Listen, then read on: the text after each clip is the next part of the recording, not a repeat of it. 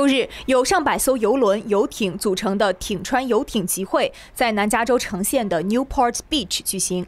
各式各样的游艇上挂着支持川普的旗帜，船上的人与桥上的支持者热情互动，引得过往车辆也不断鸣笛。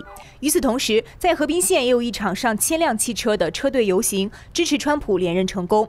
车队秩序井然，一眼望不到头。I've never seen this this much enthusiasm for uh, for an election or for a president, and I've been here 30 years, and I've never seen this kind of. I think it's uh, goosebumps on our arms. It's exciting. It's really exciting. I think that uh, I think Tuesday will be a, a wonderful day. 川普总统的支持者还表示，若拜登当选，恐怕民主党会带领美国进一步左转，推行社会主义政策。So if Biden wins, we already know his age. We already know he um, has medical issues. I'm certain that Kamala Harris will take over, and it's already been noted that she is the furthest left of any House of Representative in her voting pattern. She's already committed to getting rid of the current types of uh, fuel that we use and going straight for the green deal.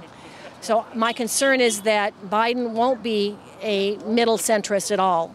It'll be Kamala and the far left that take over, and they will then expand the courts, right?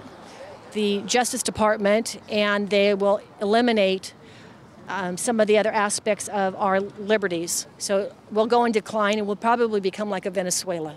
So, okay, with Biden, they've already committed to increasing the taxes, even though they're saying for anyone over, they're making annually over $400,000. That's not true.